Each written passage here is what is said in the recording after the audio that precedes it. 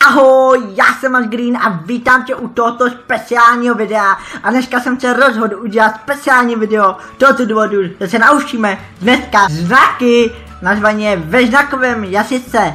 Jelikož se většina lidí by se zajímalo o znakovou řeč, jak to vypadá, nebo jaký jsou to znaky, můžu vám ukázat tady maximálně 15 slov, který mě napadnou a budu velice rád, když i mě podpoříte a i podpoříte Darwina, protože, Darwin Games, který mě taky podporuje s tím působem. A tady se to i uší tady, ale nevadí, užte se to i vy, protože budete to i potřebovat a věřím, že vy to využijete. Jdeme na to, nebudu to dál obkecávat a jdeme na to. Prvním začneme znakem. Táta. Ze zhora táta. Dáme další slovo a to je máma. Máma. Jo? Pak je třetí a to je bratr. Bratr. Pak je sestra. Sestra. Syn. Syn. Sra. Sra babička, babička, dědeček, dědeček, pak přijde teta, teta, strýs, strýs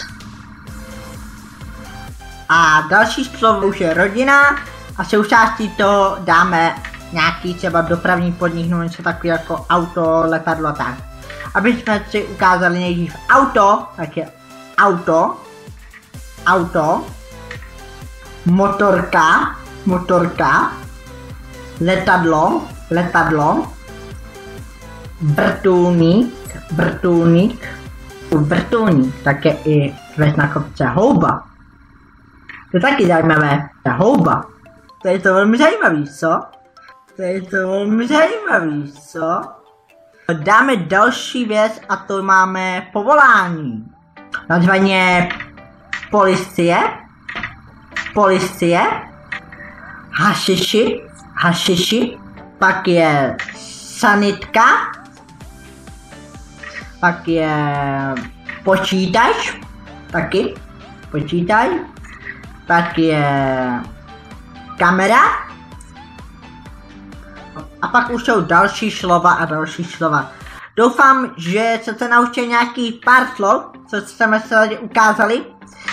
A příště tu další pokračování ve znakové jazyce dali, že se vám to bude líbit. Jinak zanechejte like, odběr, komentář, budu velice rád a samozřejmě můžete podpořit i Darwina, našeho pána, který streamuje většinou hry, ale OK.